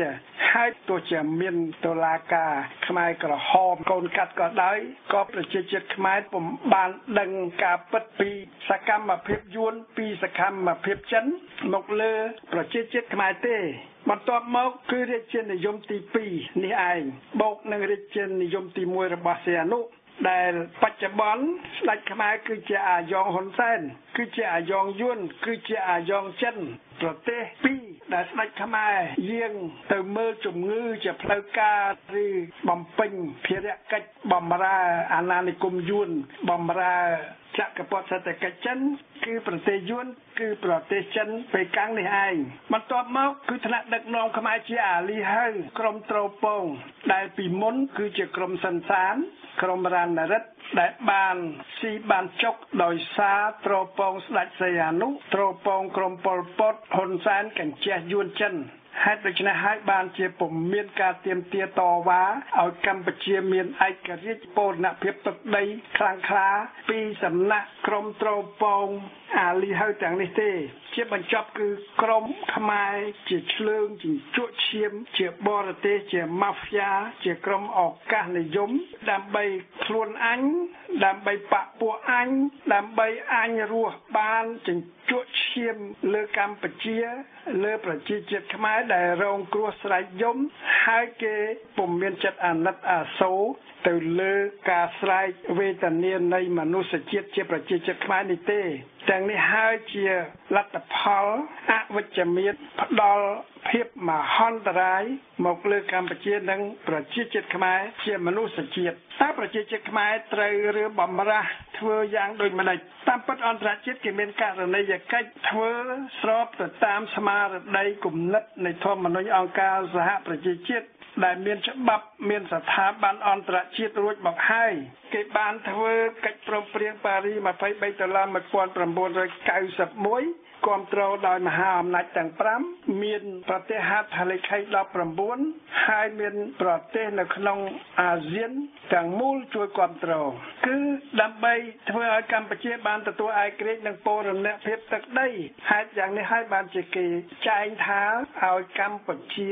លុបសន្ធិសញ្ញានានាអយុត្តិធម៌ដើម្បីកម្ពុជាបានទទួលឯករាជ្យនិងបូរណភាពទឹកដី តែអាខ្វាក់ហ៊ុនសែនស្ដេចសីហនុនិងក្រុមអាលីហៅត្រពងនានាពុំបានអនុវត្តទាមទារគោរពកិច្ចព្រមព្រៀងនេះទេ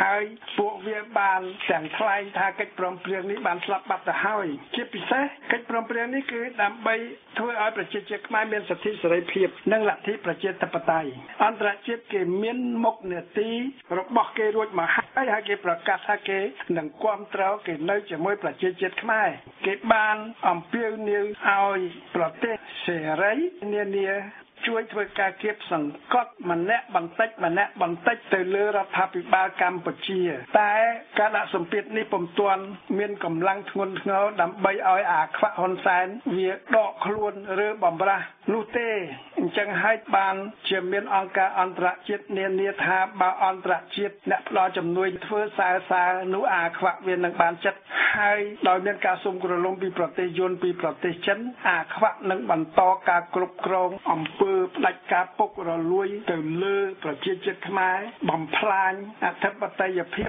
បូរណភាពទឹកដីនៃកម្ពុជា នៅប្រទេសសេរីមានការដាក់ទណ្ឌកម្មលើមនុស្សជុំវិញអាខ្វាក់ដូចជា Global Witness បង្ហាញអុកញ៉ា4នាក់គឺត្រីភិបលីយ៉ុងផាត់ឡាហើយនឹងមេតប12រូបជាអក្រិតជន បាត់ដៃប្រឡាក់ឈាមពុករលួយ ហើយថ្មីថ្មីនេះសភាកុងក្រេបានធ្វើច្បាប់ដាក់ទណ្ឌកម្មលើជនដែលបដិវត្តការឈូកបានលើកឈ្មោះមកនិយាយនៅខាងលើនេះដូច្នេះដំណោះស្រាយកម្ពុជា គឺតាមរយៈកិច្ចព្រមព្រៀងប៉ារី23ដុល្លារ1991 អ្វីអ្វីមានមូលដ្ឋានគ្រប់គ្រាន់ទាំងអស់តែអាខ្វាក់វាបំភ្លេចចោលដើម្បីបំរើមហិច្ឆតាលេបយកទឹកដីកម្ពុជា ជាភូមិសាស្ត្រកាត់យកកោះនានាមិនកោះត្រល់បោះបង្គោលព្រំដែនខ្មែរយួនចូលក្នុងដីខ្មែរដើម្បីធ្វើ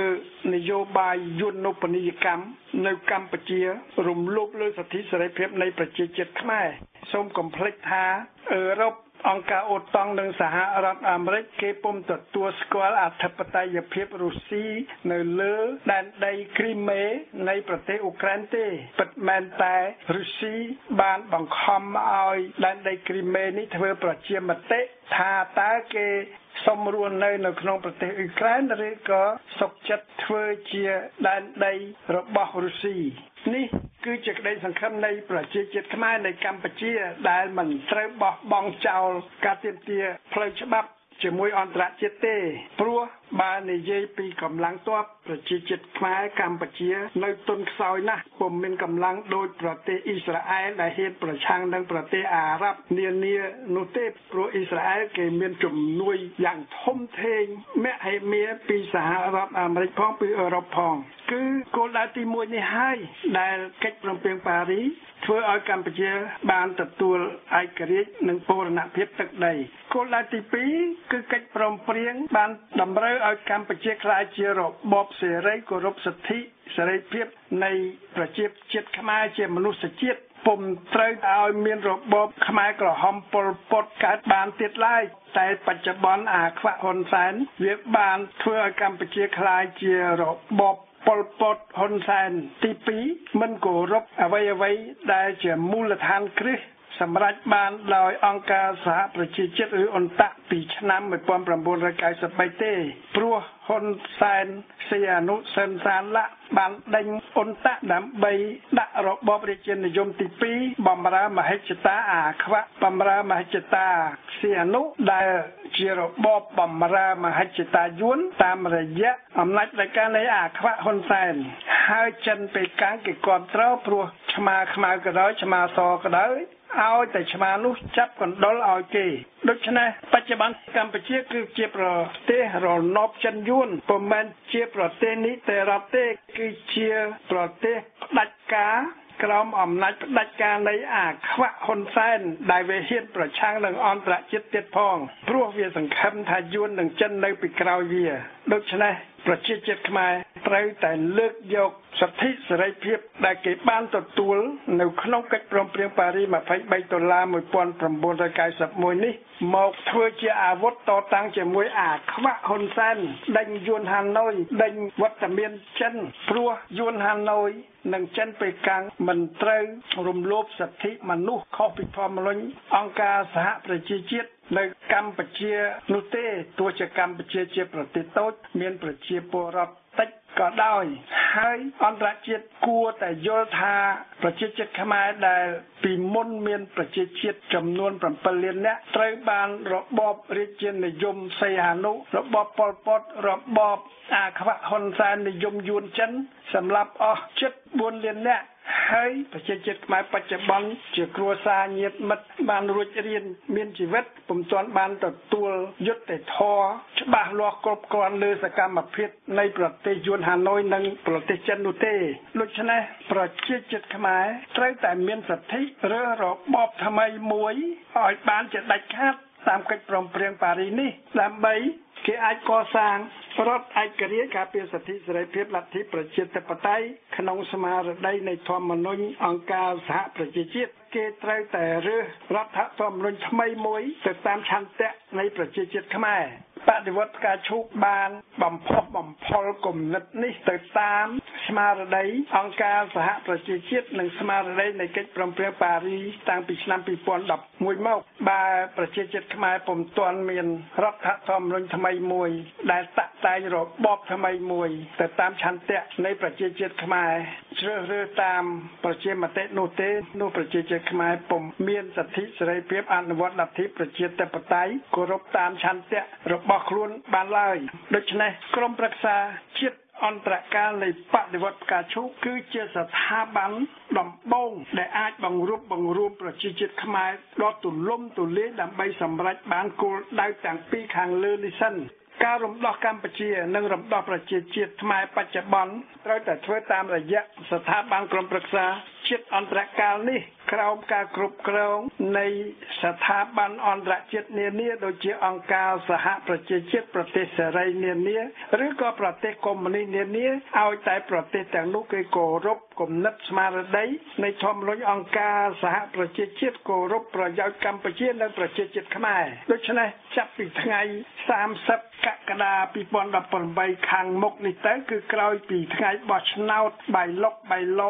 រៀបចំដោយអាខ្វាក់ហ៊ុនសែនដើម្បីវាអាចគ្រប់គ្រងកម្ពុជាតទៅទៀតប្រជាជាតិខ្មែរនិងអន្តរជាតិត្រូវតែសហការគ្នាចាត់វិធានការជាបន្ទាន់ដូចជាទី1មិនត្រូវទទួលស្គាល់របបអាខ្វាក់ហ៊ុនសែនដែលចេញពីការបោះឆ្នោតថ្ពិនភ្នែកបៃលុកបៃលនៅថ្ងៃ29កក្កដានេះទេទី2 ត្រូវតែដាក់ទណ្ឌកម្មតាមគ្រប់រូបភាពលើរបបផ្ដាច់ការក្បត់ជាតិពុករលួយនេះ ដើម្បីឲ្យរបបនេះចេញពីទេសភាពនយោបាយនៅកម្ពុជា ទី3ត្រូវតែដាក់សម្ពាធលើប្រទេសយួនហាណូយនិងប្រទេសចិនបញ្ឈប់កុំឲ្យមានការជ្រៀតជ្រែកធ្វើអាណានិគមនៅលើកម្ពុជា ដាក់សម្ពាធលើប្រទេសចិនជាពិសេស ដើម្បីឲ្យគេរក្សាអភិក្រិតភាពកុំបន្តបង្ហិនបង្ហោចប្រយោជន៍កម្ពុជានិងប្រជាជាតិខ្មែរសម្រាប់បំរើប្រទេសចិននិងប្រជាជាតិចិននោះឡើយដូច្នេះគោលដៅធំនៃដំណោះស្រាយគឺធ្វើឲ្យកម្ពុជាមានឯករាជ្យបូរណភាពទឹកដីនិងប្រជាជាតិខ្មែរមានសិទ្ធិសេរីភាពនិងលទ្ធិប្រជាធិបតេយ្យជាមនុស្សជាតិដូច្នេះជំហានទី1គឺត្រូវដេញរបបអាខ្វាក់ហ៊ុនសែនឲ្យបានជាដាច់ខាតព្រោះគឺជារបបក្បត់ជាតិប្រៃផ្សាយពុករលួយគ្រប់ទីទី យើងសូមអរគុណអន្តរជាតិដែលចាប់ផ្ដើមធ្វើច្បាប់ដូចជានៅសហរដ្ឋអាមេរិកដាក់ទណ្ឌកម្មលើក្រុមអាខ្វាក់ហ៊ុនសែនក្បត់ជាតិ លើក្រុមចិត្តស្និទ្ធមានបាត់ដៃប្រឡាក់ឈាម ដែលការពារអាខ្វាក់អ៊ុនសែនប្រឆាំងនឹងប្រជាជាតិខ្មែរជាដើមសូមប្រជាជាតិខ្មែរនាំគ្នាងើបសាមគ្គី សហការជាមួយអន្តរជាតិបំផ្លាញបាតុភូតដែលបដិវត្តផ្កាឈូកបានរៀបរាប់ខាងលើនេះឲ្យរលាយចេញពីកម្ពុជា នេះគឺជាមហាសាមគ្គី ក្នុងជំហានទី2ដើម្បី រំដោះកម្ពុជានិងប្រជាជាតិខ្មែរជម្រាបលាបងប្អូនជនរួមជាតិដែលស្ដាប់វិទ្យុបដិវត្តការជូកទាំងក្នុងស្រុកទាំងក្រៅស្រុកសូមអរគុណ